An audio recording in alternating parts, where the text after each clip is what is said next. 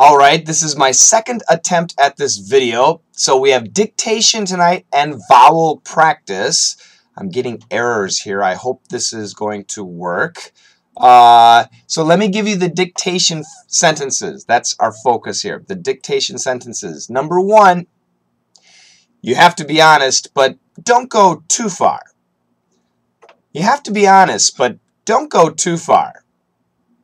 You have to be honest, but don't go too far. Number two, Shane's house is a far cry from the Hyatt. Shane's house is a far cry from the Hyatt. Shane's house is a far cry from the Hyatt.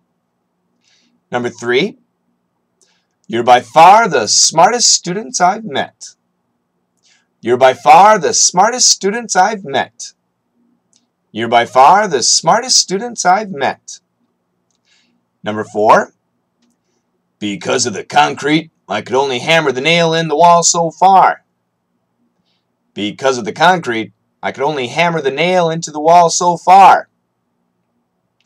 Because of the concrete, I could only hammer the nail in the wall so far.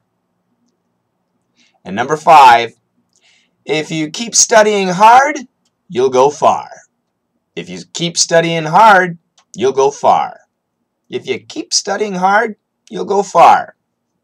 Good luck on the dictation. And also don't forget, we will have vowel practice too. So the first section is phrase frenzy, and the second section is mouthfuls. Check the description down below. And I'll see you tonight in one hour. Ugh.